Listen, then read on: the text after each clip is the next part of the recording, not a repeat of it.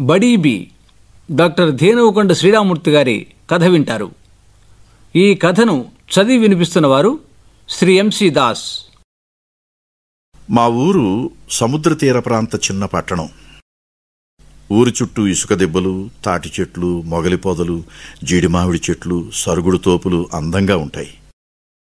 కుందేరు ఊరి మధ్యగా జీవనదిలా ఒకప్పుడు ప్రవహిస్తుండేది తోటవారిపాలెం దగ్గర చీలిన కాలువ మోటుపల్లి దగ్గర సముద్రంలో కలుస్తుంది. కుందేరు పరీవాహక ప్రాంతమంతా పశువుల మేతమడులతో పరచుకున్న పచ్చిక తివాచీలా ఉంటుంది.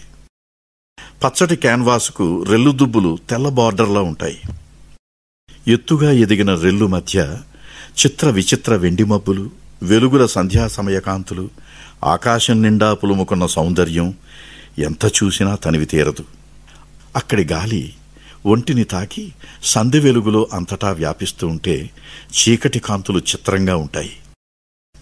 గాలి రవళులు గాలి లాలనలు చెవులలో చిత్రమైన ఊసులు చెప్తూ ఉంటాయి. వీటన్నిటిలోంచి అద్వైతించిన సృష్టి కుందేరు పచ్చిక చెక్కిళ్ళు. సూర్యోదయ సూర్యాస్తమయాలు కుందేరు ప్రాంతంలో నేత్రానందంగా ఉంటాయి. బడీబీ రోజు సాయంత్రం కుందేరు వెళుతుంది. సంధ్యా సమయంలో గట్టు మీద గరికెపేకల్ని గుప్పెడు తీసుకుని ఇంటికి వెళుతుంది. నేను హాస్పిటల్ వెళ్ళే సమయం ఆమె గరిక కోసం వచ్చే సమయం ఒక్కటే కావటం యాదృచ్ఛికం. బక్కపలచగా విద్యుదయస్కాంత కళ్ళతో కాస్త ముడతలు పడ్డ శరీరం బడీబీది ముగ్గురు కూతుళ్ళు ముగ్గురు అల్లులతో మనవలు మనవరాళ్ళతో ఒకే కుటుంబం. ఇమాం బీబీ అసలు పేరు. ఆ ప్రాంతవాసులంతా ఆమెను బడీబీ అని పిలుస్తూ ఉంటారు. మసీదు సెంటర్లో కూరగాయల దుకాణం ఉంది. సాయంత్రం మాత్రం సముద్రం చేపలు చెరువు చేపలు అల్లులు వ్యాపారం చేస్తూ ఉంటారు. ఇంట్లో అందరూ చిన్న చితకా పనులు చేస్తూ ఉంటారు. డబ్బు ఆజమాయిషి అంతా ఆమె చూస్తుంది. జక్కావారి వీధిలో పురాతన వినాయక దేవాలయం ఉంది.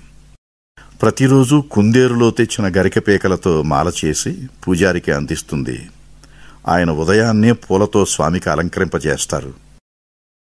ఆమెకు వాళ్ళ నానమ్మ ఆదేశంగా చిన్నప్పటి నుంచి చేస్తోంది. ఎళ్ళవద్దనే పురుళ్ళు పోయటం ఆమె ప్రత్యేకత. ప్రసవ సమయంలో బడీబీ దగ్గరే ఉండాలని అందరూ కోరుకుంటూ ఉంటారు. ఆమె హస్తవాసిని గొప్పగా గౌరవిస్తారు. ప్రసవం అవుతుందో కాదో ఎంత సమయంలో అవుతుందో నడుం చుట్టూ చేతులు పోనిచ్చి పొట్టను తడిమి ఇట్టే చెప్పేస్తుంది. ఆసుపత్రికి తీసుకెళ్ళండి అని చెప్తే కాన్పు కష్టం అవుతుందని అనుకోవాలి. తాత్సారం చేయకుండా వెంటనే చెప్పేస్తుంది. అప్పటి సదానందరావు డాక్టర్కు సాల్మన్ మరదలకు ఫ్రీజరమ్మకు ఇప్పటి డాక్టర్ మాణిక్యమ్మకు బడీబీ అంటే గొప్ప గౌరవం. ఆమెను ఆపరేషన్ థియేటర్లోని కూడా రానిచ్చేవారు. కాన్పు ఉంటే కూరగాయల దుకాణం కూతురికి అప్పగించి వెళ్ళేది ఏది ఏమైనా గరికమాల తయారు చేయటం మరిచేది కాదు. మనవడు మనవరాలు ఎవరో ఒకరిని తీసుకొని ఆసుపత్రికి అడపాదడపా వస్తూ ఉండేది. ఆసుపత్రి నుంచి వెళుతూ గుడి దగ్గర ఆగి పిల్లలకు విభూతి రాయించుకు వెళుతుంది. ఉదయాన్నే ఇంటి దగ్గర సర్పి హెర్పిస్ చల్దీ వ్యాధులకు మంత్రం వేస్తుంది. మంత్రానికి దూర ప్రాంతాల నుంచి వచ్చేవారు. దవా దువా సూత్రం వర్తిస్తుంది. ఆమె ఎప్పుడూ ఆరోగ్యంగా ఉండేది. తన గురించి ఆలోచించే వ్యవధి ఉండేది కాదు. తనను మర్చిపోయేంత పనిని ఎప్పుడూ ఏర్పరచుకునేది. కుటుంబానికి సేవ చుట్టూ ఉండేవారికి ఉపకారం బడీబీ నిత్య కార్యక్రమాలు. ఎంతో భక్తి శ్రద్ధలతో సూరాలను మననం చేసుకుంటుంది. ప్రతి సంవత్సరం రంజాన్ మాసంలో ఉపవాసాలు ఉండేది పండుగకు రకరకాల సేమ్యాలు ఆసుపత్రికి తెచ్చిస్తుంది. వద్దంటే వినేది కాదు. ప్రేమతో ఇచ్చేవాటిని కాదనకు బేటా అనేది తినిపించి వెళ్ళేది. క్లినిక్ బాగా బిజీగా ఉంది. విషజ్వరాలు ఎక్కువగా ఉన్నాయి. ఇంట్లో శుక్రవారం పూజ ఉండటంతో హాస్పిటల్కి రావటం కాస్త ఆలస్యం అయింది. క్లినిక్ నిండా చిన్నపిల్లలు గీబా అంటూ ఏడుస్తున్నారు. కొందరు ఇంజక్షన్ల నొప్పికి కొందరు ఇంజక్షన్ చేస్తారనే భయంతో ఏడుపులు లంకించుకుంటున్నారు. గుక్కపట్టి ఏడుస్తున్న ఒక బిడ్డను వాళ్ళ నాన్న వేగంగా లోనికి తీసుకొచ్చి తోటవారిపాలెం తిరునాళ్ళకి వెళ్ళాం బాబు. అక్కడ ఏడుపు లంకించుకున్నాడు. ఇక్కడికి వచ్చాం. మీరు రాలేదు. ఆ పక్క ఆసుపత్రిలో నొప్పికి ఇంజెక్షన్ చేశారు. ఏడుపు తగ్గలేదు. ఎక్కువైంది. సంజాయిషిగా బిడ్డ తండ్రి వివరిస్తున్నాడు. బల మీద పడుకోబెట్టి చూశాను. పొట్ట మెత్తగానే ఉంది. ఉబ్బరం లేదు. పాలు తాగుతున్నాడా? తాగించి ఎంతసేపు అయింది? నేను వద్దనే కొద్దీ తిరణాలకు వెళ్ళాలని పేచి పెట్టింది. అక్కడికి వెళ్ళాక ఇది ఏడుపులు అంకించుకుంది. ఇచ్చిందో లేదో ఆ సంగతే జ్ఞాపకం లేదు బాబు. అక్కడ ఉన్న బడీబీ లోపలికి వచ్చింది. బిడ్డను చేతుల్లోకి తీసుకుంది. పిల్ల అమ్మేది ఎక్కడా? ప్రశ్నించింది. వెనకాల వస్తోంది. నేను లగెత్తుకొచ్చానమ్మా. తేనె సీసా తెప్పించి తన చూపుడు వేలు ముంచి బిడ్డ నోట్లో ఉంచింది. తేనె రుచికి ఏడుపు ఆపి మరలా ఏడుపు మొదలెట్టింది. కట్టను పక్కకు వెళ్ళి శుష్క స్తనానికి తేనె రాసి బిడ్డ నోట్లో ఉంచింది. బిడ్డ ఏడుపు ఆపింది. అంతలో బిడ్డ తల్లి వచ్చింది. స్తన్యాన్ని ఇప్పించింది. బిడ్డ ఏడుపు ఆపి సొమ్మసిల్లి నిద్రపోయింది. బడీబీలో ఉండే మాతృత్వ ఛాయ తాత్కాల నిర్ణయం అందరినీ ఆశ్చర్యంలో ముంచింది.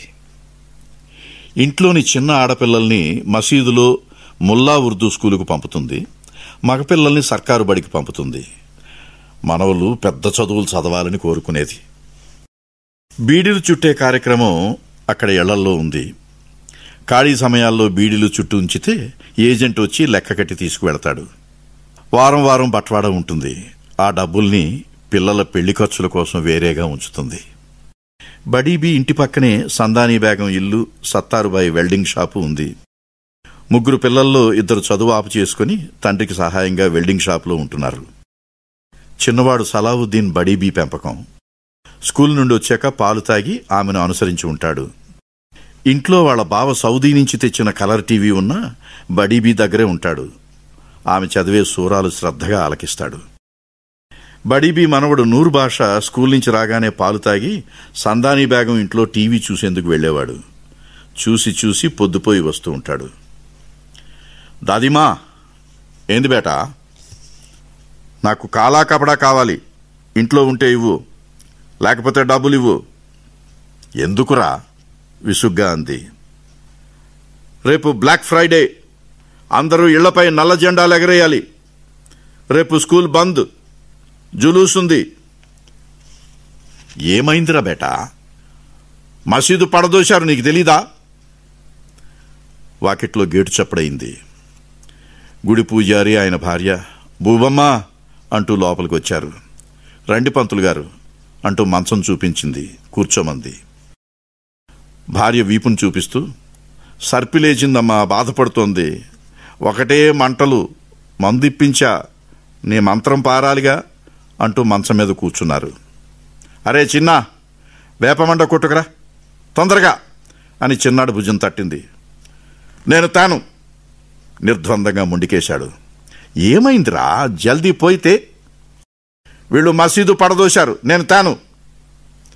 ఏ మసీదు ఎవరు పడేశారు ఎవరు చెప్పారు నీకు ఇదంతా? టీవీలో చూపించారు. నిన్న ఇవాళ అదే సంగతి చెప్తున్నారు. నేను నల్ల జెండా ఎగరేయాలా? ఆమె విస్తుపోయింది.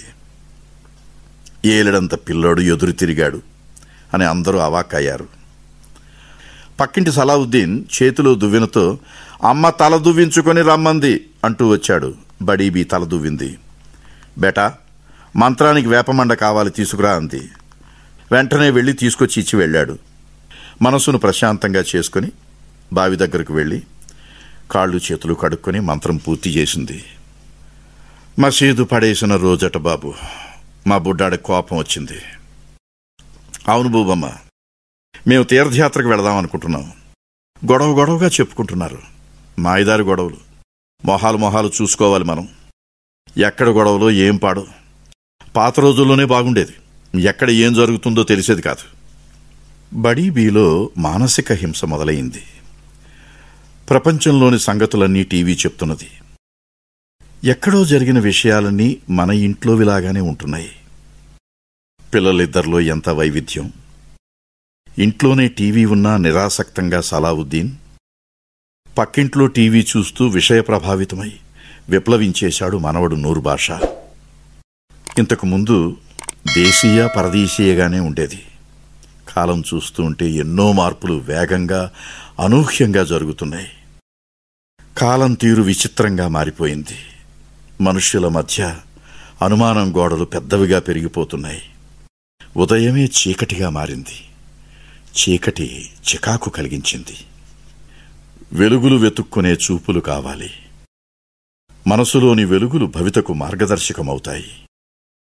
దార్శనికత బడీబీలో ఉంది. జెండా ఎగరేయటానికి నల్లగుడ్డ జెండా చేసి మనవడికిచ్చింది. హుషారుగా ఎగరేశాడు. వాడి కళ్ళు వెలిగిపోయాయి. దగ్గరకు తీసుకుని తల నిమిరింది. దిదిమా కోపం రాలేదా? కొడతావనుకున్నా. చిన్న కోరికకు కోపం ఎందుకురా చిన్న. జరిగే తప్పులు పోయేవి కావు. మనిషికి మంచి బతుకు తెరువు కావాలి బేట. సూరాలు చదువుతూ వాటి అర్థం విడమర్చి చెప్పింది. ఇతరులకు సహాయం చేయడంలోనే ఆనందం ఉంటుందని చెప్పింది. పక్కింటి ఆమె తన కోడలికి పురిటినొప్పులు వస్తున్నాయంటూ పరిగెత్తుకుని ఆయాసపడుతూ వచ్చింది. కాన్పు సంచి అందుకుంది బడీబీ. వెంటనే బయలుదేరింది. మనవడు నూరు భాష సాయంగా వస్తానన్నాడు. సంచి అందుకున్నాడు. సహాయం చేస్తున్నందుకు నూరు భాషాకి ఆనందం కలిగింది. బడీబీ డాక్టర్ ధీనవకొండ శ్రీరామూర్తి గారి కథ విన్నారు. ఈ కథను చదివి వినిపించిన వారు శ్రీ ఎంసి దాస్.